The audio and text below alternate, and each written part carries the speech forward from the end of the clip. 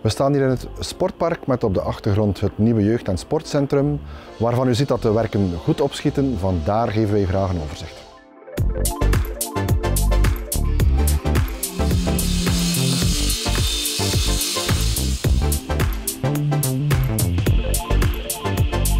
De werken werden gestart in januari 2023, waarbij in eerste instantie gewerkt werd aan de rioleringen en aan de ruwbouw.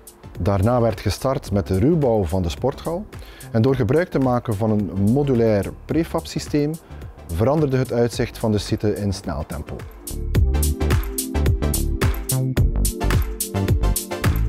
Eind april was het kantelmoment tussen de ruwbouwwerken aan de sporthal en aan de jeugdvleugel. Vanaf dat moment gingen de werkzaamheden aan het jeugdgedeelte ook van start. Onze jeugd uh, die staat te wachten op zo'n project. Hè. Dus uh, die mensen moeten zich kunnen amuseren, sportief en ook samenkomen. En het sociaal verhaal is ook heel, heel belangrijk. Nu, ik spreek heel vaak van de jeugd, maar het is ook zo dat de ouderen hier gaan kunnen hun stek vinden eigenlijk. Hè. Dus iedereen moet zoveel mogelijk bewegen.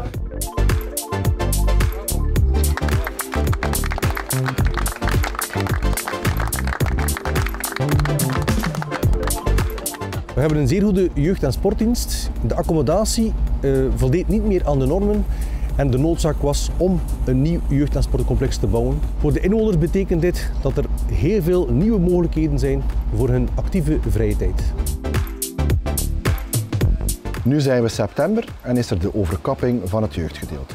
In de afwerking van de ruwbouw is men begonnen met de kantoren van de jeugd- en sportdienst.